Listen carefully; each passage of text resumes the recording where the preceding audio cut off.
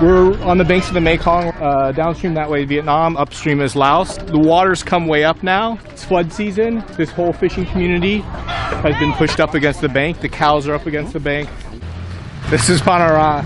Panara is a fish biologist with the Fisheries Administration, and he's been sampling larval fish, baby fish in this area for almost 20 years. Where's the net? Yeah. Just straight out? Yeah. Every year at this time of year, huge pulses of larval fish, young fish, flow downstream from spawning grounds in the upper Cambodian Mekong. There's a large cone-shaped net sitting down close to the river bottom. We're in about 20 feet of water, so you can see how fine the mesh is. So we're catching everything in a square meter of the river, and we let this net sit for about half an hour.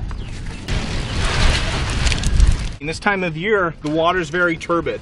You can we can already see a few small fish. Uh, those are juvenile fish, but we're also interested in the fish that are even smaller. This is really what we're after. These tiny fish just spawn. So this fish is probably only a few days old, spawned somewhere upstream. There are billions and billions of baby fish coming down the river every day. Panara says during the peak period for one or two days uh, every year, that entire canister, his entire canister, will be absolutely filled with baby fish. What species? Uh, three reel. Cone three. That's a tray reel.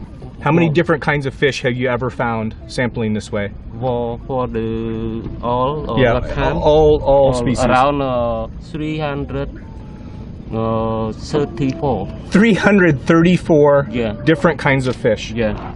Yeah, it's incredible. 334 species of fish. It shows you the amount of diversity in this river. What's this one? Oh. Yeah, yeah, could. Catfish? That's a Wallago though, right? Oh, Wallago. Uh, Panara, do you have microscopic photos of all of these fish? Have you taken photos of them under the microscope? yes.